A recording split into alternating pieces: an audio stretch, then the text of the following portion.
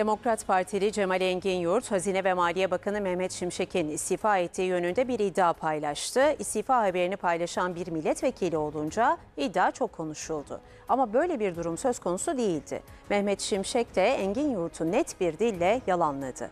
Uydurma hikayelerle ekonominin ve piyasaların etkilenmesine asla izin vermeyeceğiz dedi. Şimşek'in istifa ettiğini öne süren Cemal Engin Yurt'un geçmişte borsada manipülasyon yaparak yatırımcıları zarara sokmak suçundan hapis cezası aldığı ortaya çıktı.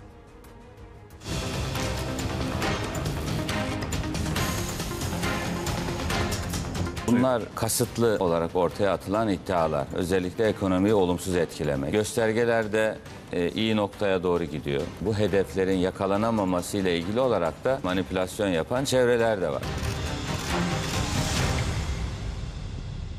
Demokrat Partili Cemal Engin Yurt, Hazine ve Maliye Bakanı Mehmet Şimşek'in istifa ettiği yalanını paylaştığı tartışma başladı.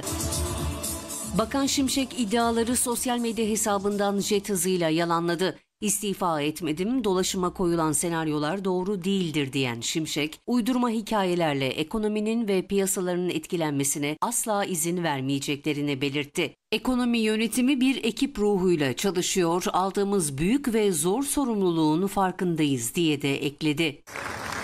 Adalet Bakanlığı da iddiaları mercek altına aldı. Ankara Cumhuriyet Başsavcılığı paylaşımlarla ilgili soruşturma başlattı. Sayın Bakanımız e, zaten gerekli açıklamayı yaptı. Bu haberlerin hem üretmeye hem yaymaya devam ettiklerini görüyoruz. Oradaki amaç ekonominin bozulmasına ilişkin bir paylaşım söz konusuysa bunu değerlendirecek olan savcılarımızdır. Sermaye Piyasası Kurulu da istifa iddialarının peşine düştü. SPK'dan yapılan açıklamada kurulumuzca olağan dışı fiyat ve miktar hareketlerine neden olan maksatlı ve yanıltıcı haberleri yapanlar ve yayanlarla ilgili inceleme başlatılmıştır denildi. Değerli basın mensupları, Ve istifa iddiasını sosyal medya hesabından paylaşan Demokrat Partili Cemal Engin Yurt. Engin Yurt'un geçmişte borsada manipülasyon yaparak yatırımcıları zarara sokmak suçundan hapis cezası aldığı ortaya çıktı. Engin Yurt'a verilen ceza Türkiye'de borsa tarihindeki ilk hapis cezası olarak kayıtlara geçti.